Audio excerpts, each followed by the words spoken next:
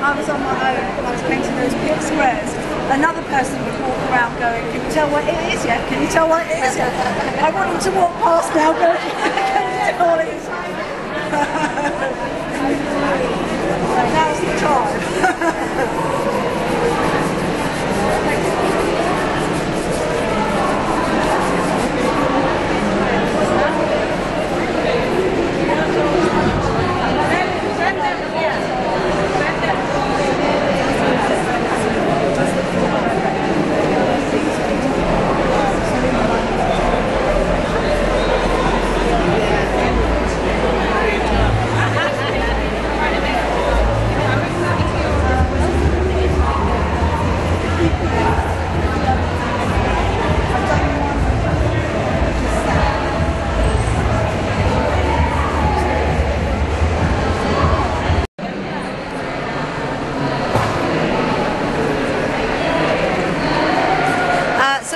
Julie Bennett. I'm an artist. I've been commissioned by ActionAid uh, to do this mural.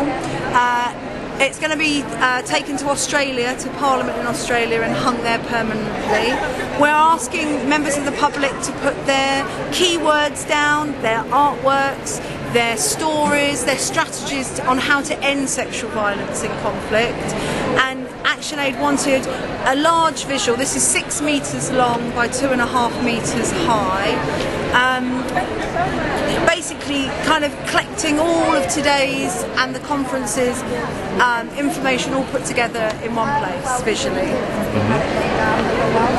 So, what is the meaning of this mural that you're creating? Um, it's, it's basically to collect stories from the members of the public of their strategies and their personal stories um, and, and having it in one place. Um, and, and the keywords in the, in the woman's hair, like peace, dignity, equality, education, health, they're all ActionAid's kind of strategies.